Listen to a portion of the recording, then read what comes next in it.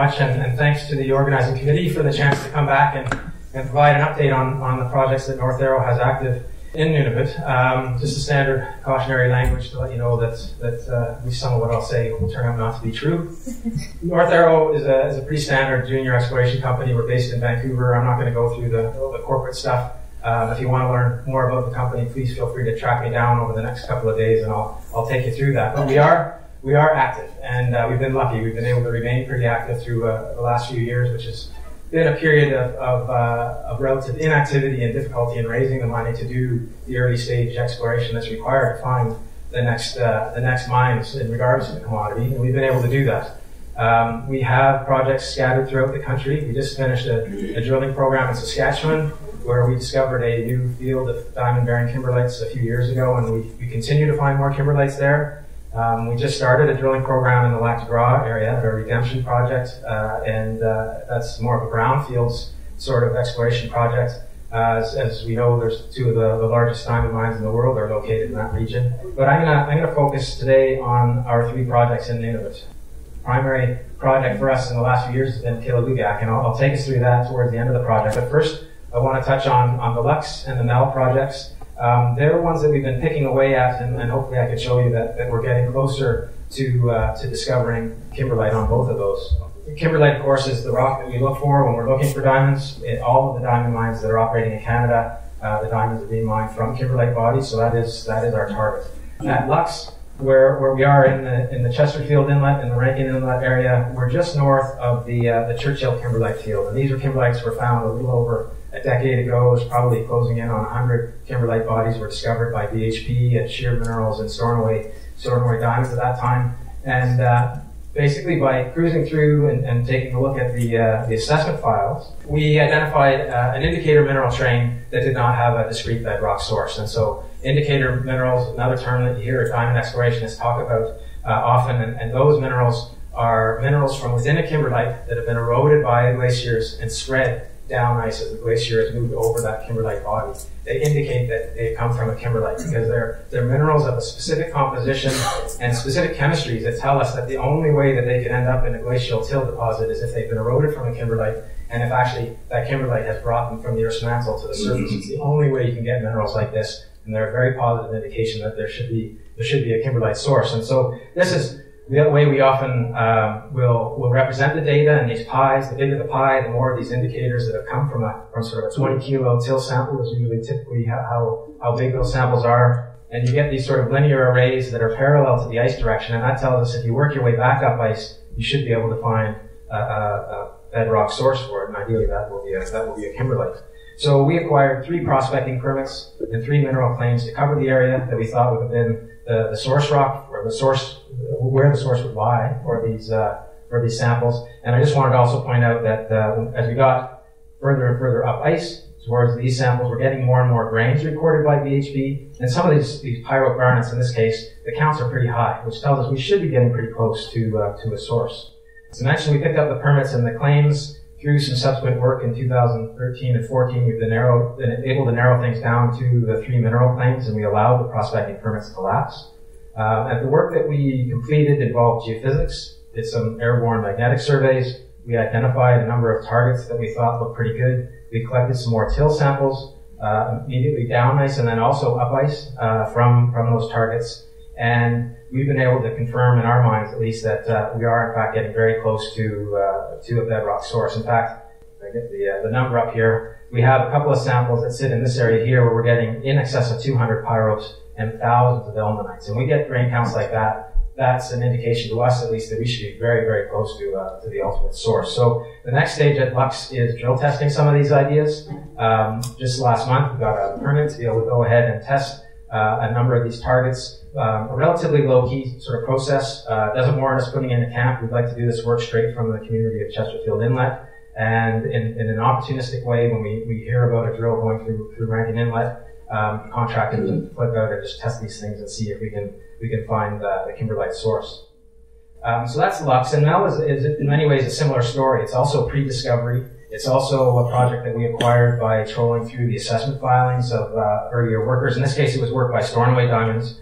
They uh, were very active in the Melville Peninsula area in uh, the early 2000s. They discovered the Aviat kimberlite field, which is diamondiferous. At the same time, BHP was doing work down here, um, just outside of Naujaat, and discovered the Qilalugaq project, which is now a North Arrow project, and I'll be talking about that. And then on the west side of the peninsula on Wales Island, the joint venture between North Arrow and Stornoway and BHP, we, uh, we discovered the Wales Island kimberlites, which are barely diamond bearing. It was one of these really efficient, almost too, from a junior's perspective, almost too efficient. In a period of about 18 months, we conceived the project. We did the work. We discovered the kimberlites. We figured out there weren't any diamonds, and we moved on, which is which is great. Uh, it was not necessarily great for building a story and, and anticipation, but it was a it was sort of a textbook exploration exercise. So we like this area. Mel um, is a similar story in that we looked at the work that, that Stornoway had filed in the assessment files in 2013 and, and 14. We collected a few till samples and we've essentially uh, defined two indicator trains in this area. Um, this shows our initial till sampling results and the work from Stornoway. In this case, the ice was moving down to the south, uh, to the southwest, um, and that's backwards because it was moving in the other direction. We gotta fix that. The ice was moving from, from here up that way, as you'll see relatively broad space sampling. And last year we went up and we collected another 220 till samples. And uh, the purpose of that was to try and better define these trains and see if it, we could start to resolve perhaps multiple sources. And just this morning we put out a news release. We haven't got all of the results back from the 2015 sampling, but uh, we have most of it. And as you can see here, these again the pies. Remember, the bigger the pie, the more indicators we're finding the scale of these pies is identical to the earlier work, so we are seeing more and more grains. And in fact, we're getting, whereas we'd seen up to about 20 indicator minerals in some of the samples from the previous work, we're now getting samples with hundreds of indicators. So again, this is telling us that we're getting closer and closer to a bedrock source that, uh, that would be in this area.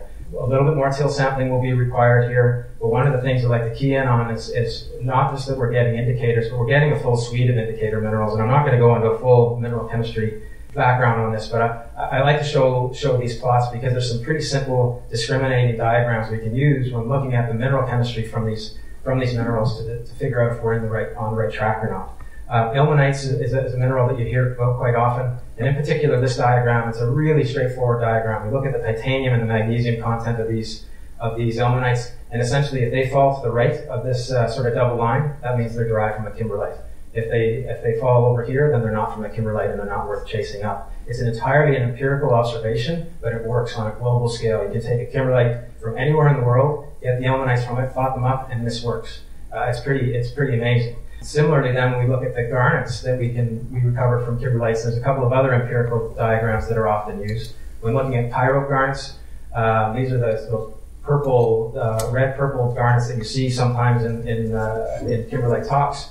Um, and those of you that have followed diamond exploration at all will have heard about G9 and G10 garnets. Again, through an empirical observation, 85% of all pyrope garnet inclusions in diamonds, these are garnets that have been found within diamonds, they plot to the right of this, uh, to the left, left rather of this line in the G10 field. It's an empirical observation, but it's one that works, and it's been proven by more scientific study over the last uh, the last 30 years or so. And in general, if you have garnet pyro compositions that are that are straddling this line, that's a good thing. It means that those diamonds have come, or those those garnets have come from diamond stable mantle, and if there happens to be carbon in the mantle with uh, with these garnets, it should be in the form of diamond. And ideally, if the garnets were brought to the surface, the diamond should be brought to the surface as well. And that's that's the logic behind all this. Similar concept with eclogitic garnets. Eclogite is just another type of mantle rock. It's actually subducted oceanic uh, crust that's been taken down into the Earth's mantle and this sort of squiggly line shows the compositions of, in this case, it's eclogitic garnet inclusions in diamonds, and they, they typically fall within this area, and the, the garnet compositions from Mel clearly fall in that, uh, in that area, and that's another positive thing. So we, uh, both Mel and Luxx were closing in on a discovery, and, and the next stage of those will be maybe a little bit more till sampling in the case of Mel, but then diamond drilling and trying to prove that, that, uh, that we've got kimberlite there. Um, Qilalugaq is our third project in Nunavut, and it's at, it's at the other end of the spectrum. These kimberlites were found over 15 years ago by BHP. Subsequent work by Stornoway found some more kimberlites in this area. As I mentioned earlier, we're, we're right near the community of Naujaat, and, and, the biggest kimberlite that's been discovered is called Q14, and it sits just seven kilometers from, from the community. We came on the scene in 2013. The Stornoway was focusing on, on building and developing the Renard Diamond Mine in Quebec. Um, we stepped in funded the collection of a bulk sample in 2014, uh, had that sample processed, a, recovered a parcel of diamonds and had those diamonds valued And with the uh, release, releasing that diamond valuation, we then earned an 80% interest in the project. Um, last uh, last year, I gave a presentation on the collection of the bulk sample, and I'm not going to go through it in a, in a ton of detail, but just to sort of remind ourselves of what, what happened. This green outline is, is the outline of the Q1 to 4 Kimberlite. It's 12 hectares in size. It's big by Canadian standards. We collected our sample from these two red ovals, so the area of those two red ovals, uh, where the kimberlite is right at surface. It's obviously it's on land. It allowed us to sling out a little mini excavator. We put the excavator back together, filled 1,650 megabags with the kimberlite that we scraped from the surface. We slung the bags to uh, to a laydown area uh, in the in the community. Uh, mentioned the two pits. So here you can see we're right near the end of the sampling. There's some bags sitting in the central pit where we collected uh, about two thirds of the sample. Another third came from the west pit here. And there was a little hand dug pit of Stornoways where they collected a, a, sample by, by hand in 2007. When we were done, we um, we reclaimed the pits, um, filled them back in here for the west pit when we were just about done in, in, the early part of August, and then a few weeks later after we backfilled it and, and moved on. As mentioned, the bags were sent to a laydown area at Naliat. They were then loaded onto a Desgagnés sea lift, shipped to Montreal, sent to a lab and processed. And um, and the diamonds were, were recovered. And that's essentially where we sat this time last year when I gave this presentation. We had some of the diamonds uh, had been recovered, and we had some photographs of them. Um, the key thing I want you to focus in on are, are these two guys here, these, these orangey yellow diamonds, because they're an important part of, of the story right now going forward. Um, but we were waiting to get the last of the diamonds recovered and get the valuation completed we were able to do that. We did that uh, through the next couple of months, and, and uh, through May, we took the diamond parcel. It was 384 carats that we recovered. We shipped it to Antwerp for a third-party valuation, and those valuators came up with basically two conclusions. The first was that the parcel was too small to make any conclusions on on the ultimate value of the diamonds. Um, with our deal with Stornoway, though, we needed a valuation, and we needed to make that public in order to vest our interest. So we ended up with a model price range um, of between $43 a carat and $92 a carat. Um, we released that information on June 9th, and, uh, and the market didn't like it too much. This was our, our stock price uh, uh, on, on that day. Um, obviously, it was, a, it was a negative response that people didn't think too much of that number. They kind of skipped over the first conclusion and went straight to the numbers, which, which in many ways makes sense. Um, and this happens. It happens in exploration. We, we identify ideas that we think and, and, areas that we think are prospective. We need to figure out what is the next question that needs to get answered. And if it's a positive answer, then we can move on with evaluation. And if it's negative, well, maybe we need to move on to something else. So we uh, are clearly faced with a, a question now of, of, whether it makes sense to, to keep going with this project or not. So we've had a few months now to try and, and review this and, and take a look at it. And I think a good starting point for us is taking a look at this slide, which is one that I was using when, when talking to investors about, about the project and why we liked it. And it really does tick off a lot of the boxes. When you look on a global scale for where can we find the next diamond deposit, it hits a lot of the right marks. It's in a jurisdiction, as we all know in this room, with a settled land claim. That's hugely important. There's an open, transparent permitting process. And Agnico Eagle has successfully uh, permitted two diamond, or sorry, two gold mines at, at Meadowbank and Meliadine uh, you can develop and permit a mine in Nunavut. It's very important that, that you're able to do that and you're able to show your investors that it's possible to do that. The project is located on tidewater. As I mentioned, we're only seven kilometers from the community here. When we uh, when we were able to uh, to collect the bulk sample in 2014, um, the vast majority, uh, over about two thirds of our, our employees were from the community of Naliat. We had an evening shift of work that, other than the helicopter pilot who was flying, all of the employees working in the evenings were were uh, residents of Naliat. There were no Southern employees, no North Arrow employees, uh, full-time employees on that shift. All of those employees were able to, to work on the project and sleep in their own bed at night. It's a really unique situation in Nunavut, and, and it's very important. Being on Tidewater, when we look at successful mining developments in the Canadian High Arctic, a lot of those deposits sit on Tidewater. It really drastically reduces your costs. Um, we think that the cost structure here would be would be far lower than at Lac de. Uh, so it's another very important thing.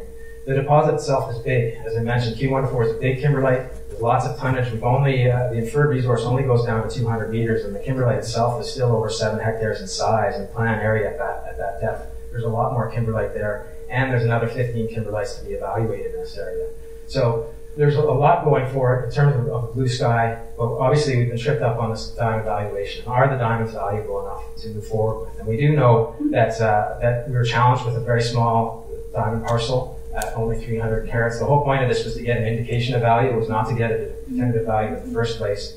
Um, But we were also uh, challenged by the fact that we were lacking higher value, bigger stones. And the other challenge for the whole thing is a lot of the diamonds have these cubic shapes, and that's an issue when it comes to yield. And by yield, I mean is when you have a rough diamond and you polish it into a gem to be set into a piece of jewelry, how much diamond is left over? How much of that original carat weight is left over in the finished gem?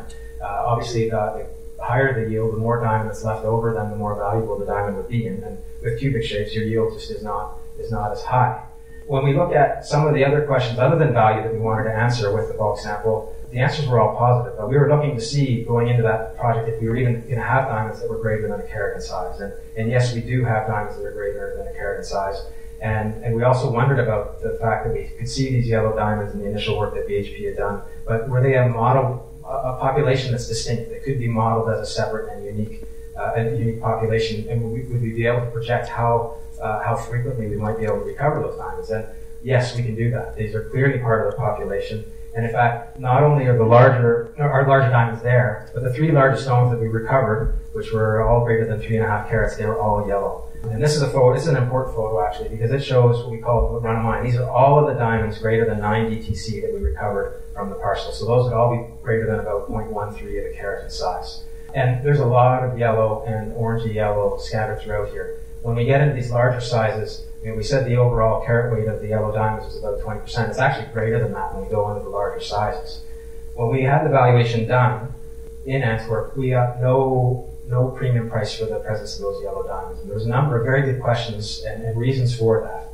And and so the next question for us to ask is, okay, at the end of the day, the whole point of this, the whole point of finding any diamond deposit is, can we produce beautiful gem diamonds that can be put into jewelry that people will covet and want to pay a lot of money for? And that's that's ultimately what we're we're, we're appealing to people's vanity here. So we said, well, let's let's answer that question. Let's take some of these diamonds and polish them.